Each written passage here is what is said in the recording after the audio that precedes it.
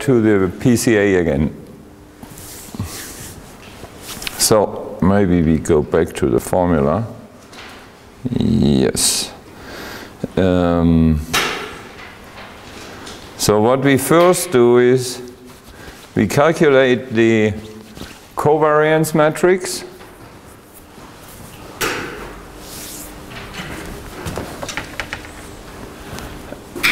and then I mean, we have to solve this eigenvalue equation for the covariance matrix S.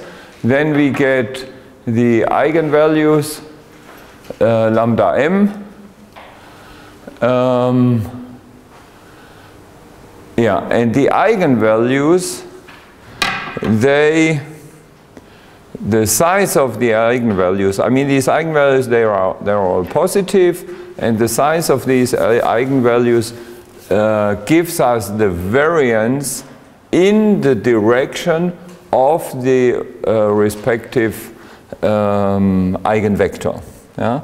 So the, the spectrum of the eigenvalues is quite interesting when for our uh, data set we uh, solve the eigenvalue equation. So we see that the principal component, uh, I mean that's the definition of the principal component, has the largest eigenvalue. But here we see there is quite a big difference between the largest eigenvalue and the next ones. Um, okay, and uh, I gave you this these LexMed data as the exercise, and then uh, when, uh, in the exercises session uh, last week, um, some students showed me nice pictures. What they did is they projected the data onto the two largest eigenvalues because this can be easily visualized on the screen. Yeah? And now if we do this with the raw LexMed data, the not normalized LexMed data, then we get this plot. Yeah? Um, and I mean, the reason is, I mean, here you don't see much structure. It looks like an almost random distribution of points. Um, but the reason is quite simple. The reason is in the not normalized LexMed data, here, here you see the data. If you don't normalize these data, then of course the leukocyte value is by far the largest value and therefore the variance will dominate all the other variances extremely. Um, and then there is this, uh, the h, which is the next value with a large variance. Because the h varies between something like uh, 3 and 90 years. Huh? So the variance of the age also is quite large.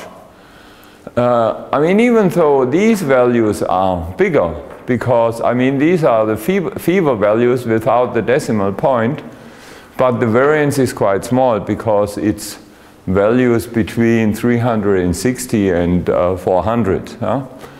Um, so the variance is around 40 here, no, it, it's even smaller. It, variance would be around 20, but here the variance uh, is something like uh, 60. Yeah? Um, okay, and that's why, I mean, so uh, we could already know in advance that the principal component would more or less be the leukocyte value. Yeah? And that's actually what happens. If you look at, here we have, uh, sorry, it's, it's cut on the slide. Uh, the principal uh, component, which is this here, sorry, you can't see it, behind here we have a value of something like 10,000 compared to these extremely small values. Huh? So the principal component just projects you out the leukocyte value. And the second principal component you see, has a value of 100 here and very small values here. And back there, the two fever values, they are also a little bit bigger than the others. So it's a combination of age and the fever values. And that's why we get such a picture without structure. But if we look at the normalized values, and that's what I saw when you showed it me, uh, that's the picture you get when you project, uh, when you normalize your data, calculate the eigenvectors of the covariance matrix, and project on the two largest eigenvectors. That's the picture you get. Highly structured. And now let's let me ask the question, uh, what does this uh, structure tell us?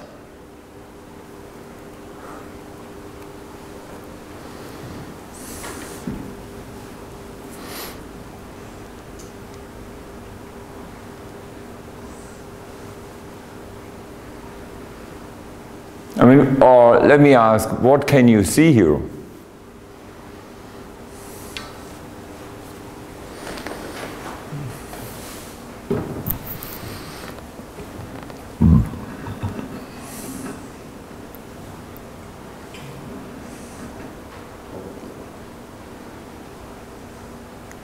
I mean, it's just about pattern matching, nothing about PCA. If I would ask a 10-year-old kid, it would immediately give me an answer.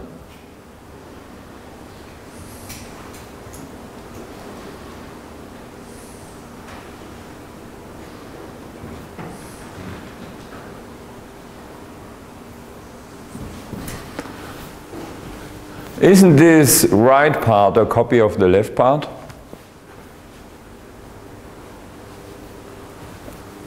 At least it's, it's very similar. Look at this uh, bunch here. It's almost exactly a copy of this, and this is copied here, and so on. And where does this come from? Now look at this axis. Here we have 0, and here we have 1.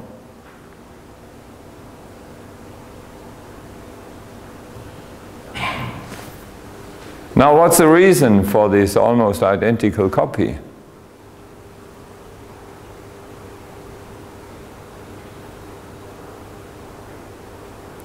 The reason is that many of our variables are binary. So our data points, there is, I mean each one of the binary variables here take this variable here. I mean, a part of, of the data points have the value 1 here and the others have the value 0.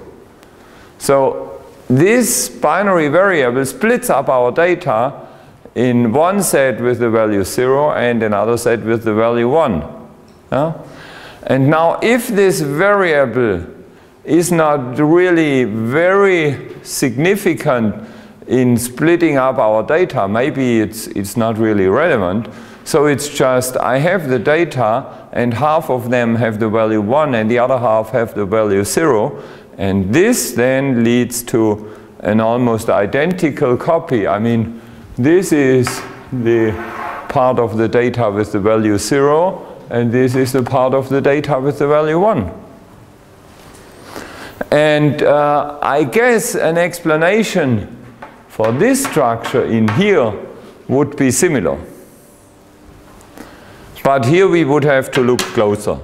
I mean, we now could do the same thing and just use one of the binary variables and uh, neglect all the others. Okay, so you see it's PCA is a nice tool for data analysis. Okay, so much uh, about PCA. Um, and now we come into the next section. Um, we now go into um, it's I mean we, we will have this semester this statistics chapter and then we will have a continuation of the function approximation chapter. And we are still in the statistics chapter, but this is kind of the overlap between statistics and function approximation. We will now in, uh, go into the statistical approach to function approximation, which is, I mean, this will give us powerful techniques for function approximation, first, and second, it will lead to a much better understanding of what's going on. Uh? So we will see, for example, problems with overfitting, but we will also see how we can solve them. Um, and the, I mean, the magic formula is Bayesian regression. Uh, so we will use Bayesian statistics more or less based on the Bayes formula and we will see, we will learn a lot about uh, functional approximation. Um, but because it's a statistical um, method, we, we have to go a little bit into statistics. Yeah? Um, okay, so now we first uh, talk a little bit about estimators and their properties. Um, now here we talk about an estimator T gamma which, uh, which is used to estimate some unknown parameter gamma. Um, I mean, we may want to estimate the expected value, for example, of a distribution, or the variance, or some other quantity.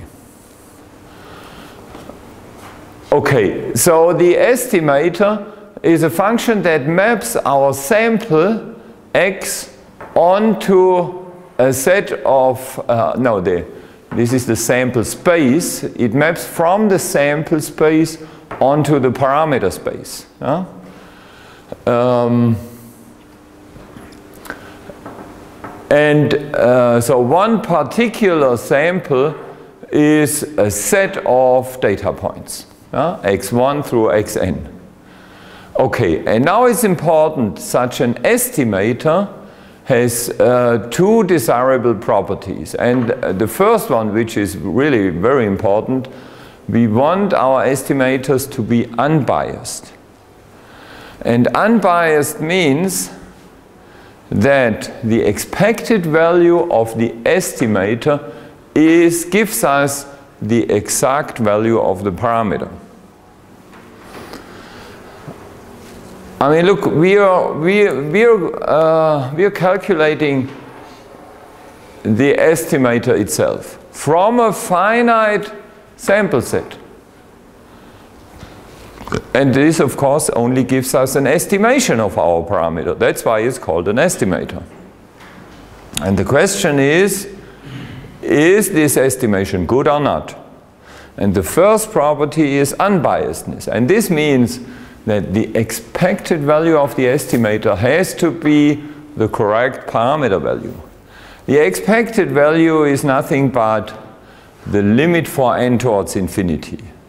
So if we increase the size of our sample set and let n go to infinity, then uh, the limit has to be gamma. Okay, yes, and also of course if we take a finite sample set, we would like to have, uh, oh no, uh, sorry, even for infinite uh, sample set, we want uh, our the variance of our estimator to be as small as possible. Yeah? Yeah. So such an estimator, uh, T gamma star has minimum variance if the variance of this estimator for the, uh, uh, the parameter gamma is less than or equal to the variance of any other estimator, of any other unbiased estimator. Of course, I mean, from this point on, we talk about unbiased estimators, and then we can ask, how large is the variance of it? Okay, now let's look at uh, particular examples of estimators. The first and most important is the sample mean. You, you, uh, you all know it. And the, the sample mean is an estimator for the expected value. The sample variance, what we have here, is an estimator for the variance. Um, and yes, uh, quite often people ask, why do we have the 1 over n minus 1 here and not like here, the 1 over n? Because this is nothing but averaging over n sample points. And why don't we then normalize this sum uh, with the factor 1 over n? And the reason is here exactly because if we take 1 over n, then it's a biased estimator. It's only unbiased if we use this normalization. And this is one of your exercises to prove that this is an unbiased estimator. Okay, now, um, yeah, let's look at this estimation task. Um, so, oh yes, and let me mention, uh, these slides are, they are from Markus Schneider. Markus Schneider was one of the scientists in my group until about uh, two years ago. Yeah, I guess. Um, and uh, he prepared this part of the lecture, which uh, was actually an excellent job from him. And now I am happy to, to use his slides for this lecture. Um, and I mean, he is, uh, he is a researcher. He, did, he started doing his master thesis in this area, and we will actually see in maybe two weeks uh, the results of his master thesis, um, where he used Gaussian processes.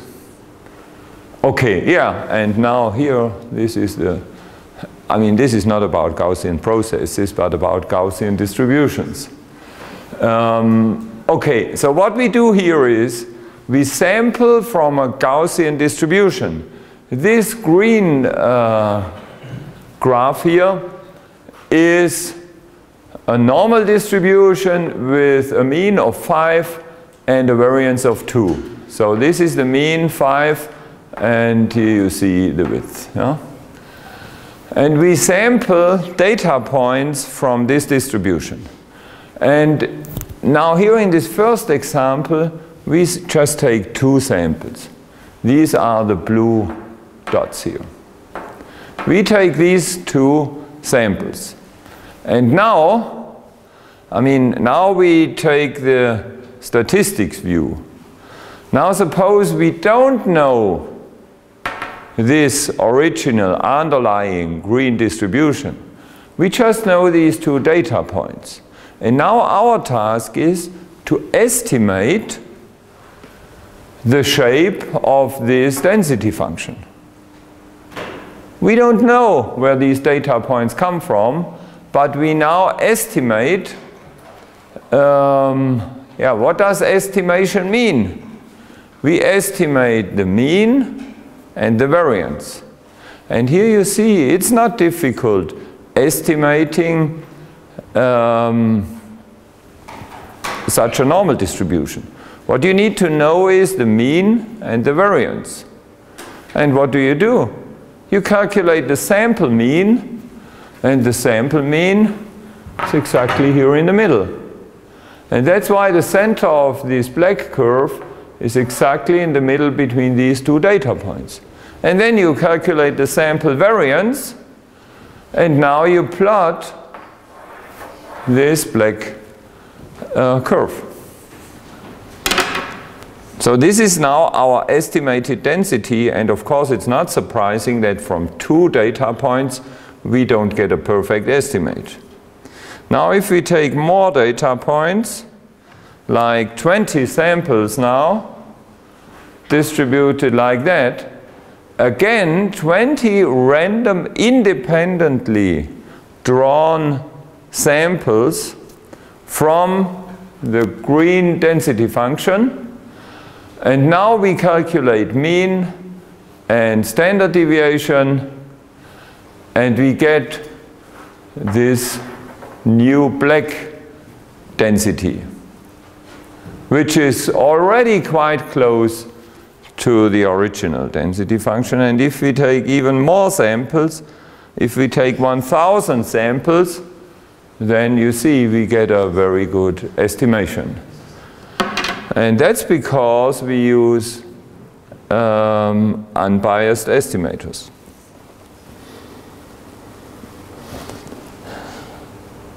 Okay, so I mean, you have seen that it's actually trivial to estimate um, a normal distribution.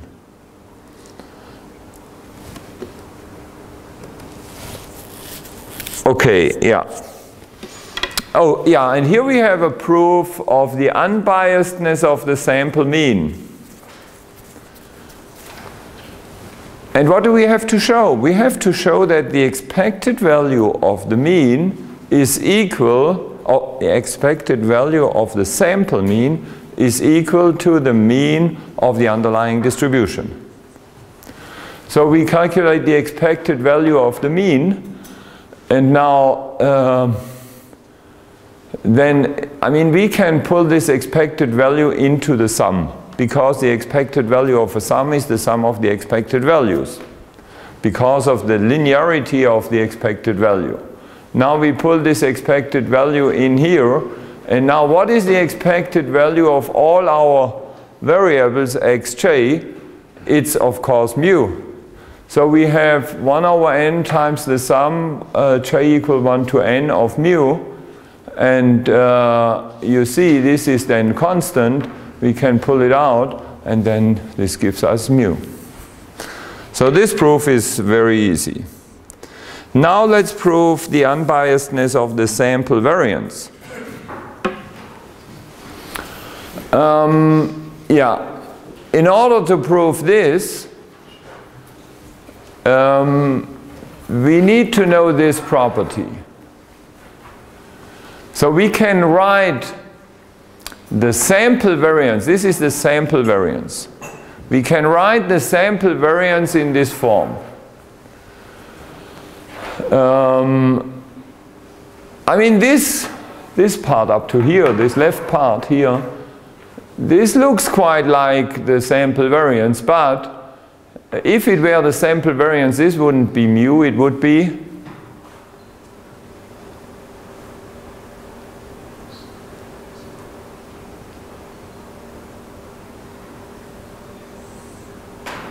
it would be x bar. Because when you estimate uh, the variance from the sample, you don't know the, the mean of the underlying distribution. So the only thing you can do is you calculate the sample mean. So this would be x bar. But you can write the, the sample variance in this way. Look, here appears the x bar. Huh? Okay, and this part of the proof is your exercise. You have to show that this formula is identical to the sample variance. Um, okay, so yeah, now we can calculate the S, the expected value of the sample variance. And now this is the expected value, of course, of this formula. So we can again draw the expected value into these sums. Uh, so into this sum and, and here. And uh, yeah, now look, what do we have here? The expected value of xj minus mu squared. And this is nothing but the variance of xj.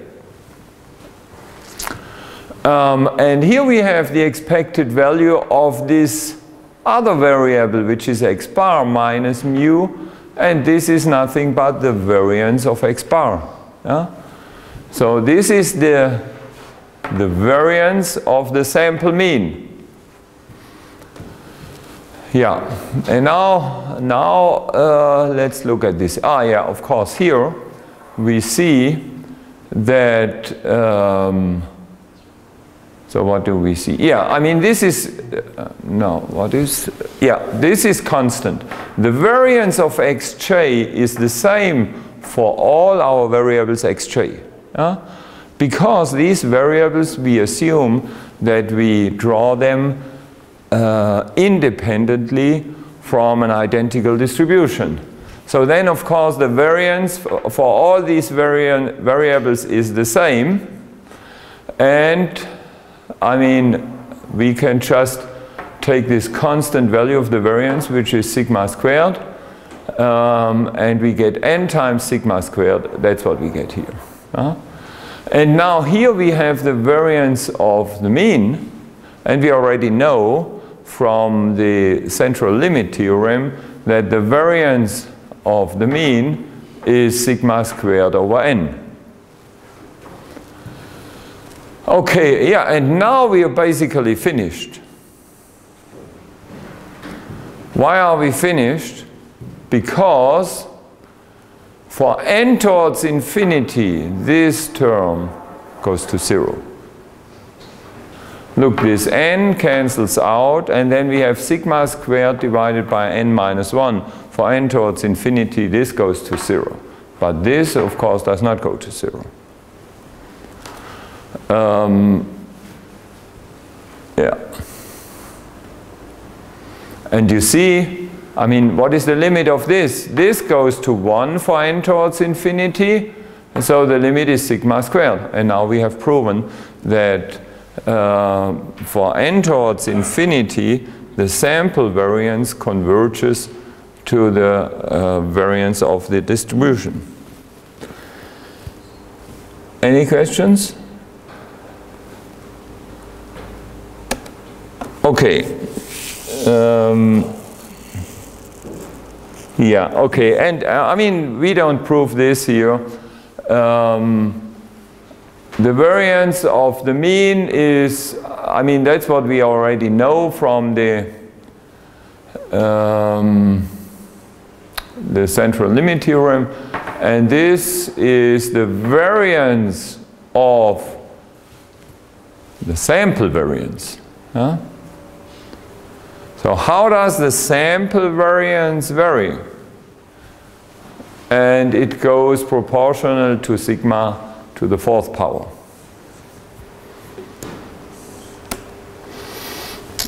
Okay, some more nice formulas about expectations and covariances. And I, yeah, I think we will, will we will need uh, all these formulas.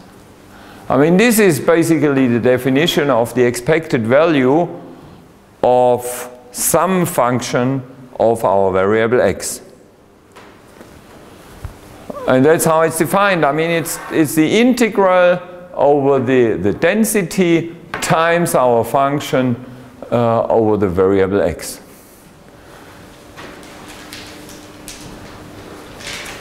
Okay, and here we have the definition of the variance of some function of x. Not the variance of x, but some function of x. I mean, we have seen examples uh, right before. I mean, one function of our variable is the mean, for example. Yeah? Okay, so the expected value of some function is the expected value of f of x minus the expected value of f of x. Yeah, and this uh, difference squared. And now it's easy to show that this is equal to the variance of f squared, uh, sorry, uh, to, uh, is equal to the expected value of f squared minus the expected value of f squared. That's easy to show. Um, yeah, and the covariance of two variables x and y is defined, yeah, I mean, maybe we should compare the variance and the covariance again. Yeah? Because, I mean, they are quite similar. Let's look at this first. This is the expected value of x minus e of x times y minus e of y. So this is the, differ, uh, yeah, the difference between our variable and the expected value. So this tells us, um, yeah, for example, uh,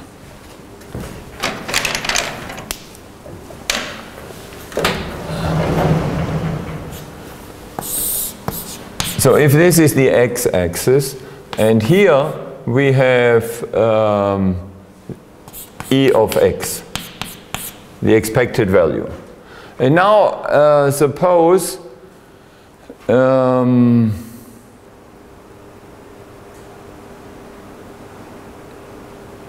yeah. Suppose we take one value x which is here. And x is smaller than the expected value. So then x minus the expected value is negative and now if we look at the axis for y, and we here we have e of y, and suppose y also is smaller than the expected value, then we see that for these two samples, um, here we have a negative uh, difference and here we have a negative difference. So the difference goes in the same direction, in negative direction. So we have then the product of two negative values, which is positive. And this means the two variables are correlated. The difference from the expected value goes in the same direction. If they both go in positive direction, the product also is positive. But now suppose it's different. x has a negative distance and y a positive distance. Then I have a positive value times a negative value and I get something negative. And uh, such a negative term here um, is, we call it an anticorrelation. Okay, but now look we have uh, the expected value of this product. And now suppose we take two times the same uh, variable, x, and then we get the expected value of x minus e of x times x minus e of x. And so you see we get this here. So the covariance of a variable with itself is the variance of the variable. And here we have a similar formula to this up here, which is the covariance of x and y is the expected value of the product x times y minus the product of the two expected values. Um, yes. So suppose our two variables x and y are uncorrelated. Uncorrelated means the covariance is equal to zero.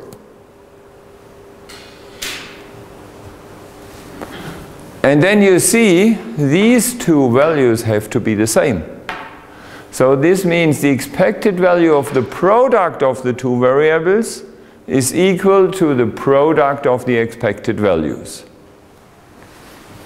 So yeah, please remember this, we will need it quite soon.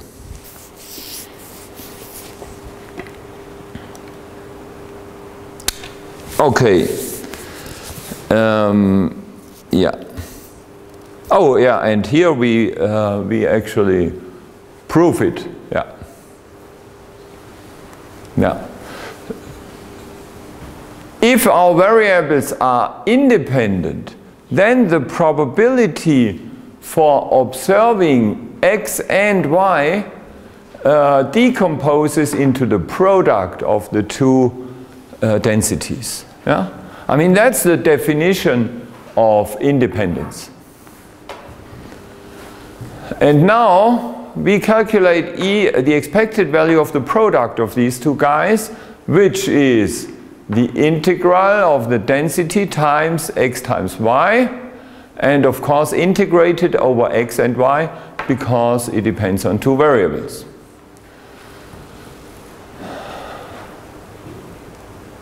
Yeah. And now here in this step, we now apply our independence. So we replace this by the product P of x times P of y. And now you see that, of course, P of x only depends on x. This only depends on y. And so we can split up the integral into two integrals. Into this first integral over y and the second integral over x.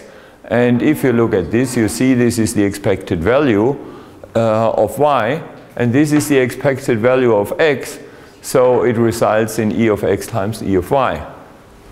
And we are finished. And uh, yeah, again we see that for independent variables uh, we get a covariance of zero.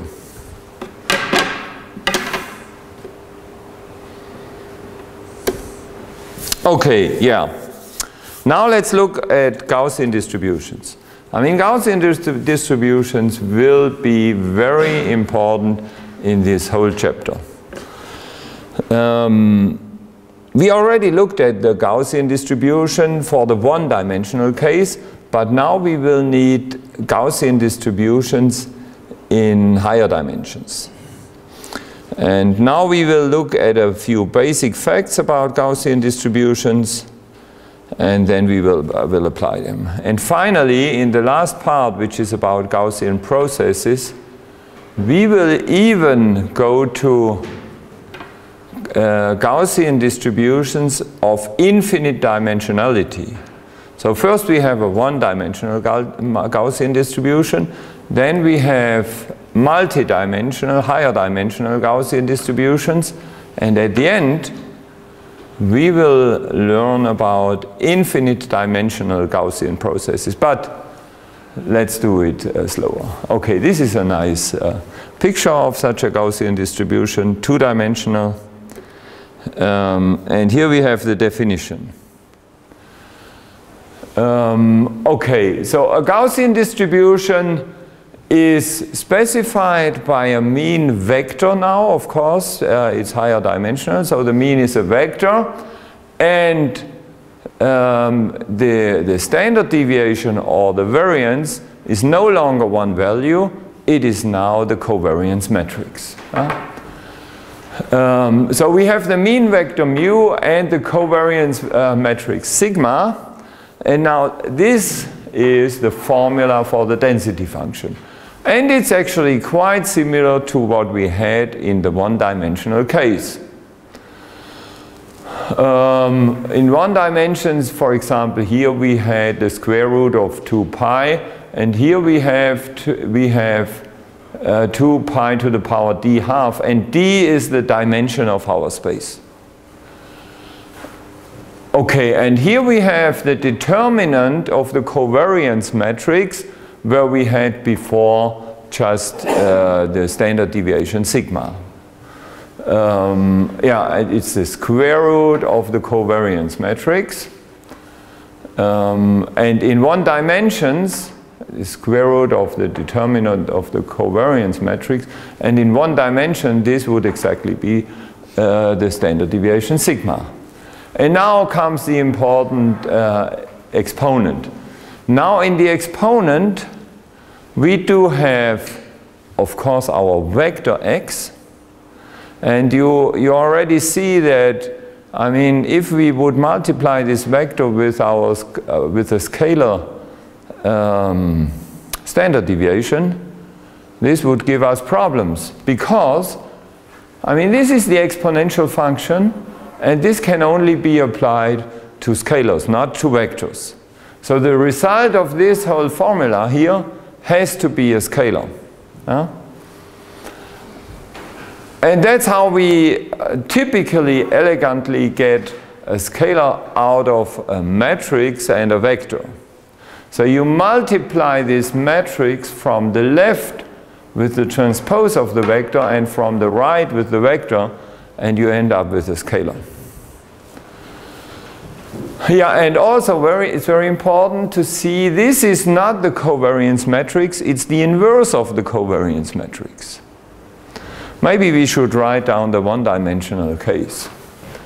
So uh, n of mu comma sigma squared is equal to 1 over square root of 2 pi times sigma times e power minus um, x minus mu divided by sigma squared. Yeah. Yeah, that's the one-dimensional formula. And you see, we have this sigma squared in the denominator. And uh, I mean, our covariance matrix, let's look at it in, let's say, two dimensions. Uh, then here we get sigma x squared, and here we get sigma y squared. Um, and I mean, here we get the two values, uh, the covariance, uh, yeah, so here we get the covariance of x and y, and here we get the covariance of y and x. And since the covariance matrix, uh, covariance is symmetric, this matrix is symmetric. Okay, and for the case of one dimensions, what remains is this. And the inverse of this scalar matrix is this. Okay, so what we have to use is the inverse of the covariance matrix and we multiply it from the right with this column vector x minus mu which corresponds to this here. And from the left with x minus mu transpose. And then, oh, uh, we forgot this one half here.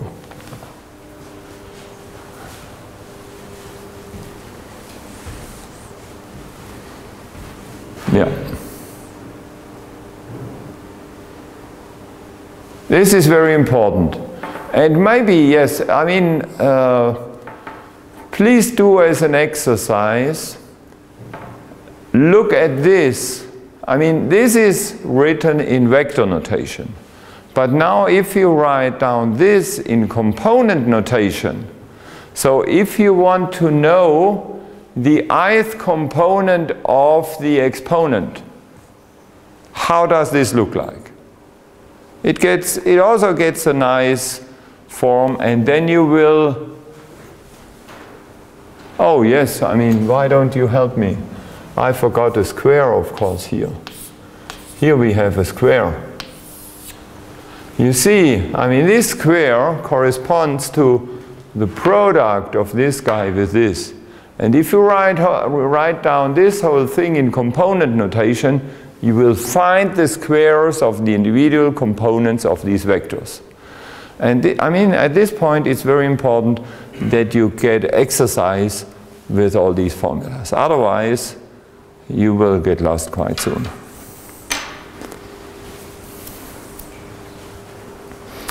Okay, so this is the formula for a function shaped like that. And we will, of course, now look at examples and details. But before we look at the examples, uh, let me note that the, uh, I mean, here we have mu, and here we have sigma. And mu and sigma are the mean and the covariance matrix of this multidimensional distribution. But be careful, it has to be proven that this parameter mu here is the mean. Uh, sorry, is um, yeah, sorry, I mean, mu is, this mu here is the expected value. Sorry. I mean, we are not talking about samples. Now here we talk about the distribution and mu is the expected value and sigma is the covariance matrix.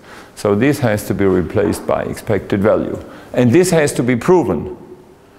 And how will this be proven? And actually it will be an exercise for you to prove that the expected value of such a normal distribution is mu. How will this be proven? Yeah, you will just apply the definition. Let's go back. Um, here. You will take this formula. You will take this formula and replace this f of x by the normal distribution. And then you will solve this integral. And you will see that it is mu. And the same holds for the covariance.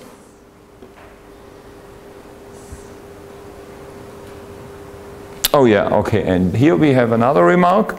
If the variables x1 through xd are all independent, then sigma is a diagonal matrix. Yeah. Why is this the case?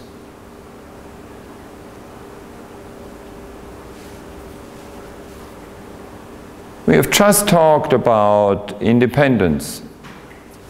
Because the covariance is zero? Yeah. Because the covariance of all pairs of variables is zero, but what is not zero? Yeah, the diagonal elements. And what are the diagonal elements of the covariance matrix?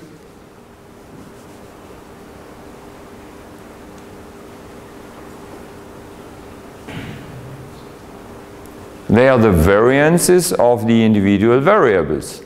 So the diagonal elements are the variances of x1 through xd. And now this is important. Look, our, uh, so um, the covariance matrix um, for our variables x1 through xd so now this is the covariance matrix. In the diagonal case, we get the variance of x1 down to the variance of xd. And the rest is all zero. Yeah.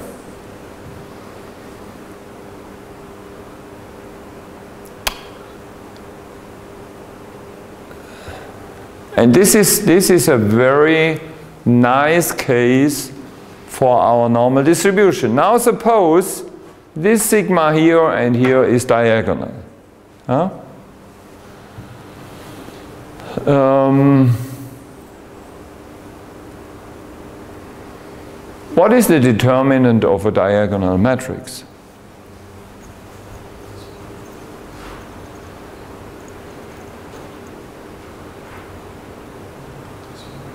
It's a product of all the diagonal elements. And now you see something very nice. It's a product of all these guys. And this determinant appears in the denominator. Now what is your first question when you see a denominator as a mathematician? It can be zero, yes. Now, can this be zero, this product? Yes, it can. When can it be zero? If one variance is zero. Yeah, if one of the variances is zero, then we are having a problem with our normal distribution. Now, what does that mean? Let's go back to this nice image here of such a, a Gaussian distribution. Oh, this is, yeah, this is not so nice an image for the case of a diagonal covariance matrix because here the covariance matrix is not diagonal. So if this is x and this is y, then here the covariance matrix is not diagonal. Let's look at such examples. No, let's go on to this, yeah. Here we have, look, here we have examples of Gaussian distributions all with diagonal covariance matrix. Um, and uh, the, the, um, the expected value is zero in all these three examples. And now look, with this covariance matrix, 1, 1, 0, 0, the density function looks like that. Yeah? Now, with 0.5 here, it is more narrow, but a little bit higher. And with 2, we have a larger variance. It looks like that. And now my question is, how would it look like? Let's take this one. And let's make this variance uh, to 0. How would it now look?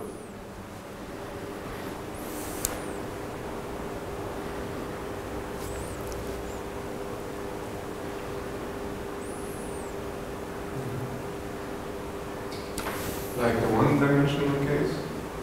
Something like that? Yeah, something like the one-dimensional case. I mean, it would be if, if this second variance would be zero and this is the y direction, then it would be extremely flat. Yeah? The width would actually be zero.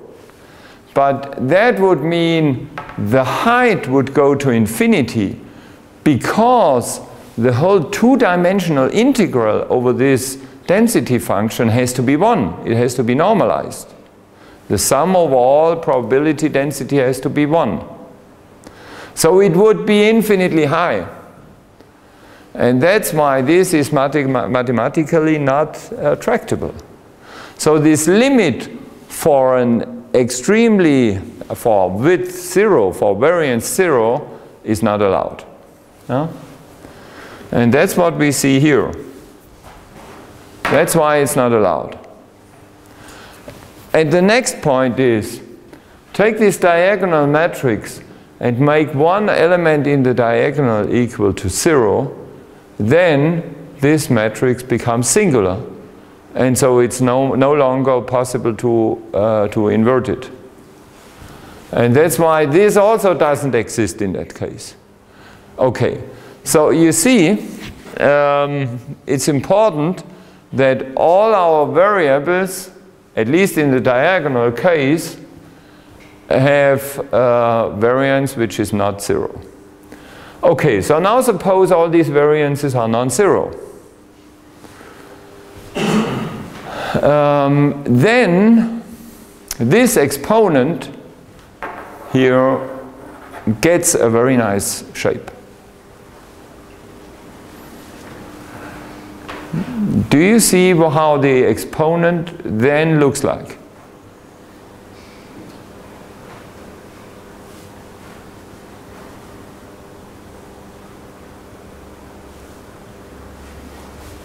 I mean, that's why I asked you to really look into this. Yeah?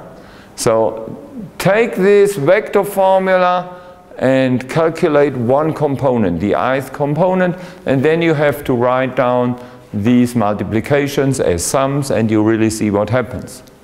And now if you apply this to such a diagonal covariance matrix, then your exponent finally is minus 1 half times the sum over i equal 1 to d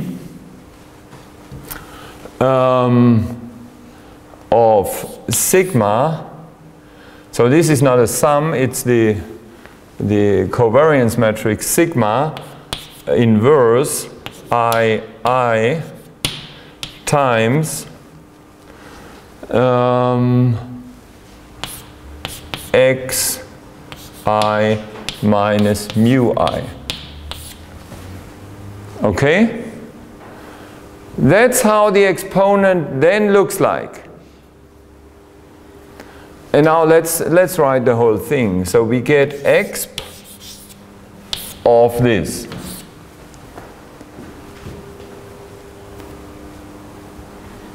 And now, I mean, this can be simplified very much. Because now we have, oh, there is something missing. There is, of course, missing the square again here.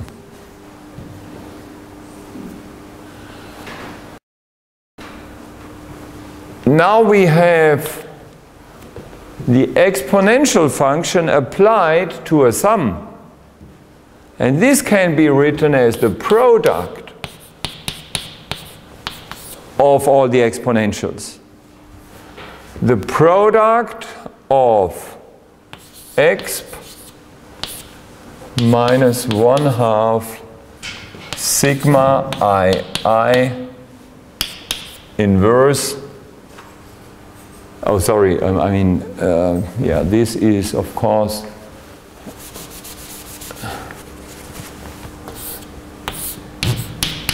that's how it has to be written uh, no, sorry. Sigma inverse diagonal element xi minus mu i squared. Yeah.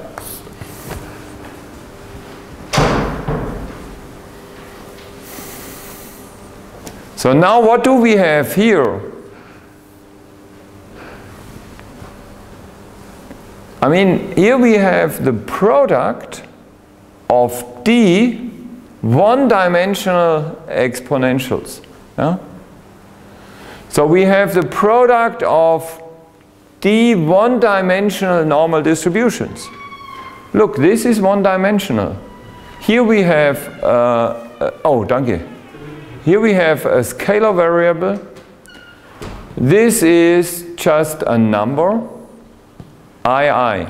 Yeah? It's one element of the inverse matrix. So this is, this is a one-dimensional Gaussian. So you see, if our covariance matrix is diagonal, then our multidimensional Gaussian um, comes down to the product of the one-dimensional Gaussians. Yeah, and I mean this is just the basic fact that if our variables are independent, then p of x and y is equal to p of x times p of y. Look, these one-dimensional exponentials, these one-dimensional normal distributions um, are the densities of the individual one-dimensional variables. And if these variables are independent, that's when the covariance matrix is diagonal, then our multidimensional Gaussian splits up in such an easy product.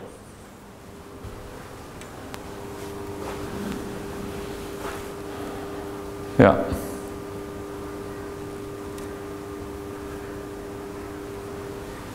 And I mean, I mean, what we see is that the mathematics of normal distributions is so nice because of this property of the exponential function that the exponential of a sum is the product of all the exponentials.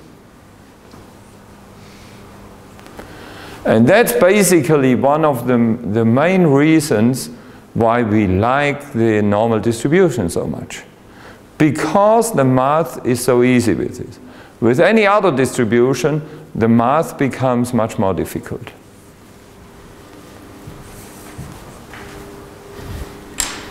But it's not the only reason. I mean, here we are really lucky in mathematics because uh, normal distributions are important in many applications. And why are they so important? Because of the central limit theorem. Because whenever we have variables, um, no, when, yeah, when we have noise, we, when we have variables with noise, then quite often noise comes from, from a sum of random effects. Uh, and whenever we have a sum of random effects, And if these random effects are independent and identically distributed, then we can apply the central limit theorem, which tells us that in the limit for n towards infinity, any distribution becomes a normal distribution when we sum up these random effects. Uh, um, so whenever we have, we have noise, we will now in the following make the assumption that it's Gaussian noise. And this assumption is not too bad because whenever our noise is really random and independent, then the distribution, the noise distribution, is very close to a Gaussian distribution. Huh? So we are really lucky now because Gaussian distributions are so important in statistics and second, they, are, they can easily be treated mathematically due to this property.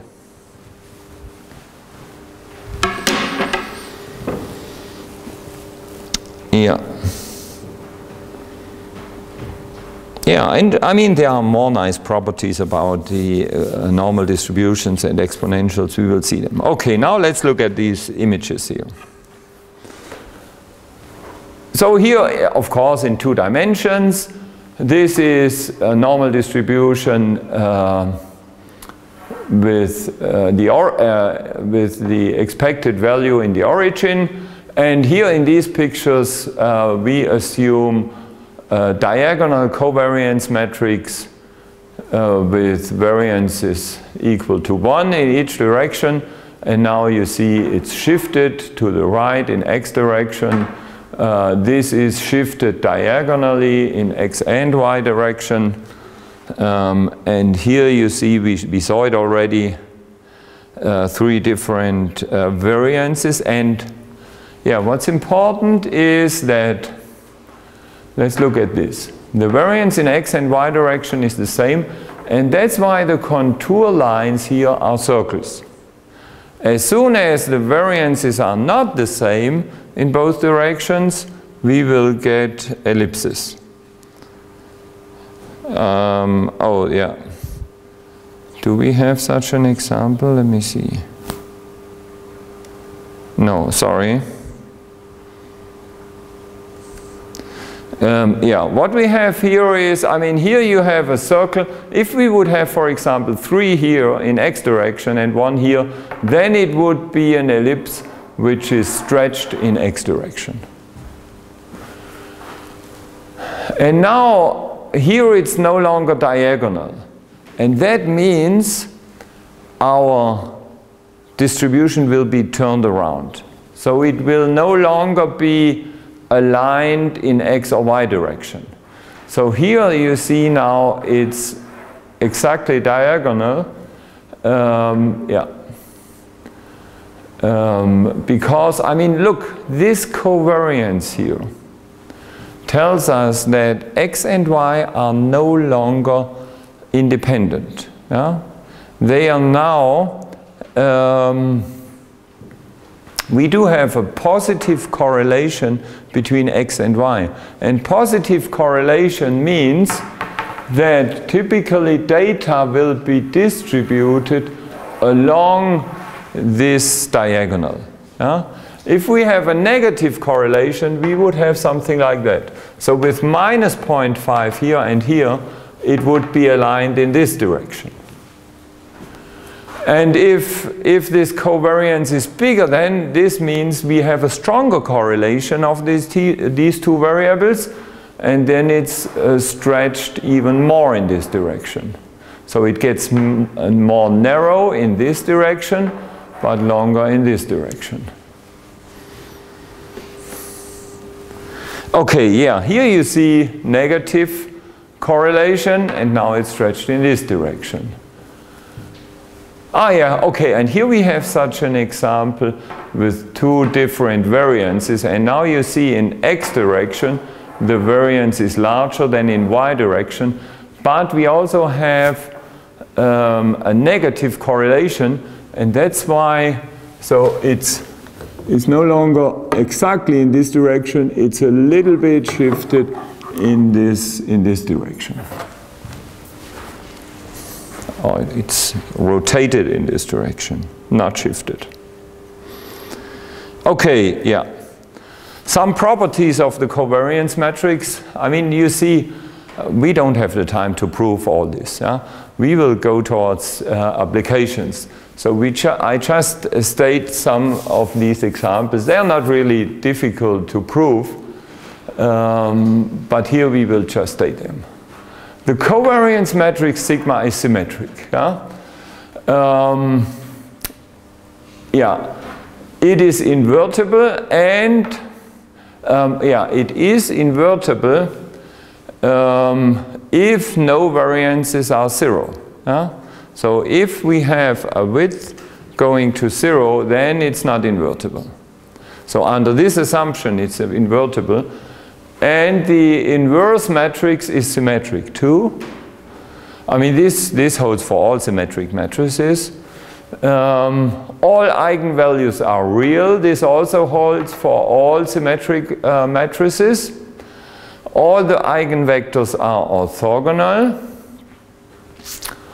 Um, yeah, and the eigenvectors point in the direction of principal axis of the ellipsoid. I mean, that's what we actually have seen uh, in PCA. Huh? Um, yeah. And another nice property, the covariance matrix is positive definite. Positive definite means that this product x transpose sigma x is greater than zero for all vectors x all eigenvalues are positive. Um, and yeah, and the inverse is also positive definite. These are properties we will use. Okay, yeah, and uh, now the covariance matrix, because it's symmetric and positive definite. It can always be diagonalized. I guess we had this last semester in the linear algebra, didn't we? I guess so. So any symmetric positive definite matrix can be diagonalized. Um, by a so-called principal axis transformation. And this is the transformation we have. Yeah? So let U1 through UD be the eigenvectors of this matrix sigma. Um, then there is a transformation from our original variables x to new variables y with this formula. So yi, the ith component of our new vector, is the um, the ith eigenvector transposed multiplied with x minus mu. Um, yeah. And this is a very important transformation because if we apply this transformation Look, I mean, two things happen. First, we have a, a shift into one direction of our distribution. Um, and you see what we get is we subtract the mu, the, the mean. The, um, yeah, mu is the expected value of our Gaussian. So we subtract, uh, first we subtract the expected value. And that means for such a case, we would just shift our distribution into the origin. That's the first step. We shift it into the origin, and then when we are in the origin, then what happens is we would rotate our distribution such that it becomes diagonal. And diagonal means that um, it's aligned parallel to the axis. Here it's diagonal, so this this will no longer occur. And aligned parallel to the axis means, it's this case. it means the covariance matrix is diagonal.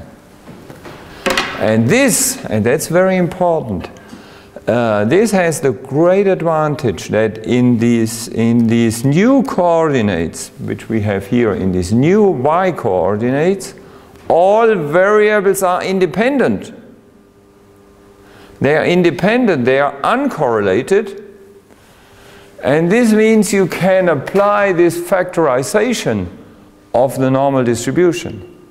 So the whole normal distribution factorizes into a product of one-dimensional distributions.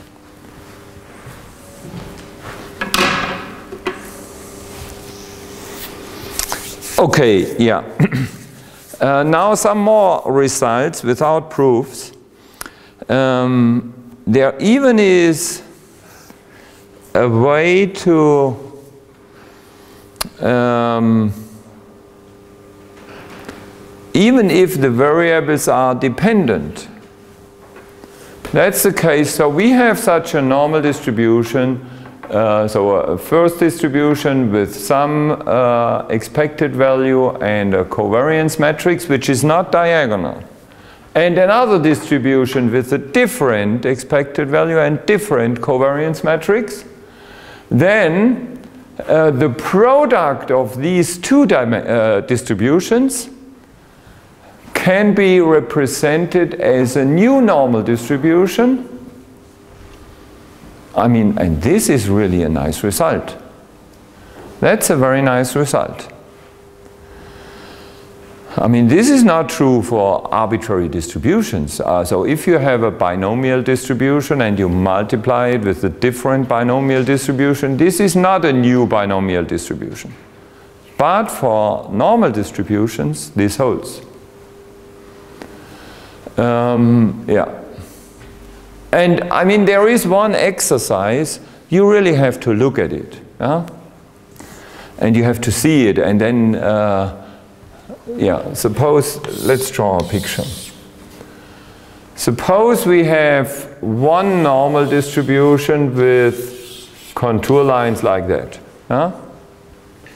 And now suppose you have a second normal distribution that looks like this.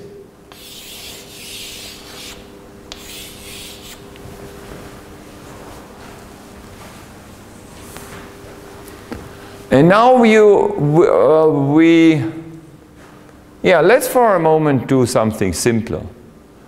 We just take the sum of these two normal distributions, which is kind of the linear superposition. What is the sum, how does the sum of these two normal distributions look like?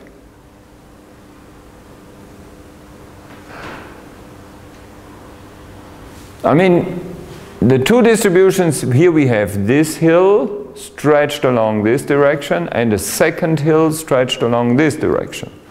And now what is the sum of these two guys? How would it look like?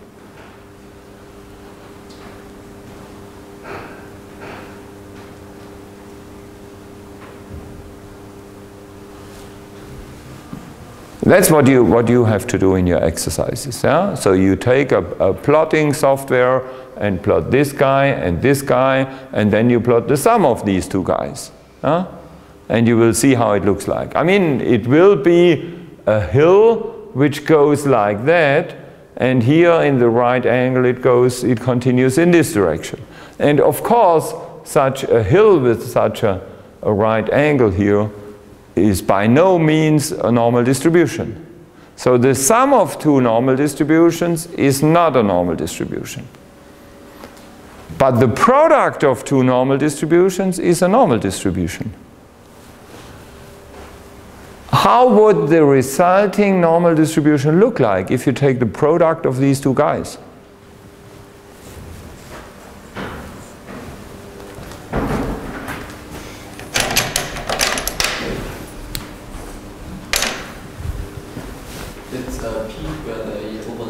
Yeah.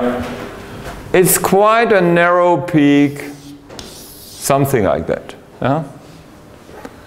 And all this part here will vanish. Why? And this also will vanish. Why?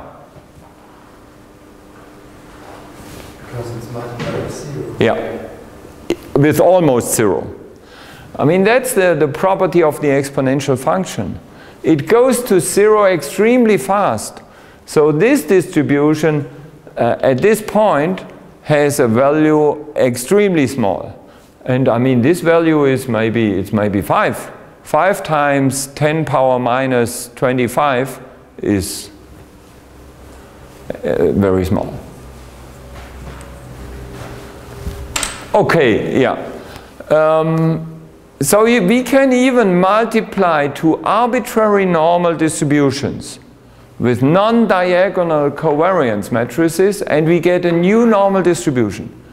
I mean, that's a really nice result. Um, and there are even simple formulas for getting the new expected value and the new covariance matrix. This is the new covariance matrix. It's so simple. You take the two old covariance matrices and get the new one from this.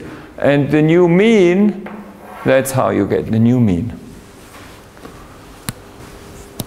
I mean, proving this formula, this is not trivial because it's really technical going into the, uh, these, uh, look, I mean, yeah, we don't have it here, but uh, with these uh, vectors and matrices in the exponents and yeah. Okay, yeah. Then next thing is marginalization. Um, did we? no, we didn't have this in the math lecture last semester, but we had it in AI. Yeah? So those who attended AI know what marginalization means. We did this with discrete variables. Now we have continuous variables. And marginalization is, it's nothing but projecting, suppose we have this distribution, it's nothing but projecting it onto a subspace. So if we have two dimensions, we may project it to the x uh, dimension, that's what, what, it's, uh, what it's all about. And in the discrete case, we get the, the, the marginal distribution. Look, we have two variables x and y, or even two vectors x and y. Um, and then we project it onto a subspace, onto x. And then what we did in the discrete case, we just took the sum over all the other variables. And here we, we take the integral over all the, the other variables. Okay, and now there, there again is a very nice formula for the normal distributions. So if we have such a normal distribution where the uh, expected value is a vector consisting of this first, I mean this A is a vector and B also is a vector. Um, and so it's a column vector where the upper part is A and the lower part is B. And the covariance matrix decomposes into such block matrices. Um, and now if we want to project this normal distribution onto this, these first dimensions, then the projected, the marginal normal distribution is so simple. Look, it's just the normal distribution with this upper part of the expected value and with, the, with this sub-block matrix. It's so nice and easy.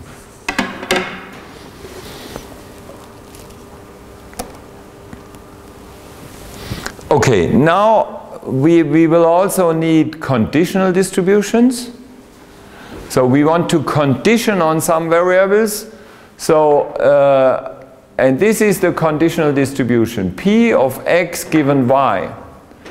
And it's defined as P of x and y divided by P of y. And again, there is a nice and easy formula for normal distributions. If this is our normal distribution and we want to condition uh, y on x, then it's this normal distribution. With this expected value and this new covariance matrix. Hmm. Okay, yeah, and now let's look at this picture. In this picture we see the difference between the marginal distribution and the conditional distribution. That's very important and we will really need this. This is our original two-dimensional distribution. Um, yeah, and if we look at the marginal distribution, um, P of xa. So this is, this is the dimension xa and this is xb. And P of xa is this blue density function. Why is it? Now, look, project this distribution onto this axis. And what will you get? You will get exactly this. Is this clear?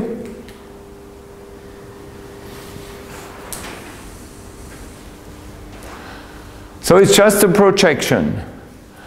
But now, if we take the conditional distribution, P of xa given xb equal to 0.7, look, in a conditional distribution, we have to, in order to get a picture of the whole thing, we have to fix the second variable onto which we condition.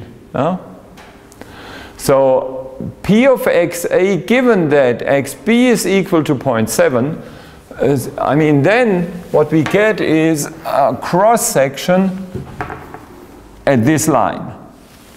And this cross section, of course, is a distribution which is much more narrow with a, a standard deviation around this here. And that's why we get this red density function. Yeah. So it's, it's easy to imagine what happens when we do marginalization. So marginalization means we just project onto a subspace, then we get something like that. But if we do conditioning, conditioning means we fix some variables at a fixed uh, value, um, and then we get kind of a cross section uh, and that's this.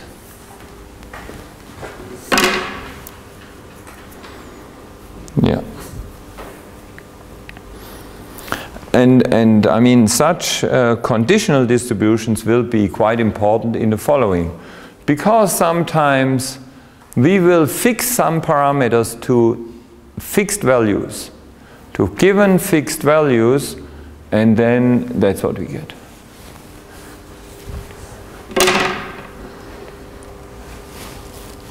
Okay, yeah. Um, yeah, and I guess we should stop now. Thank you.